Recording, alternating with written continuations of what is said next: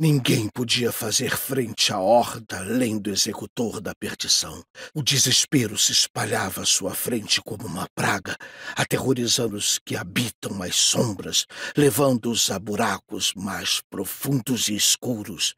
Mas das profundezas do abismo se ergueu o grande, um campeão mais forte do que todos que já surgiram, o Titã de poder e ferocidade mensuráveis, ele avançou pela planície e enfrentou o executor da perdição. Uma luta terrível foi travada naquele local desolado.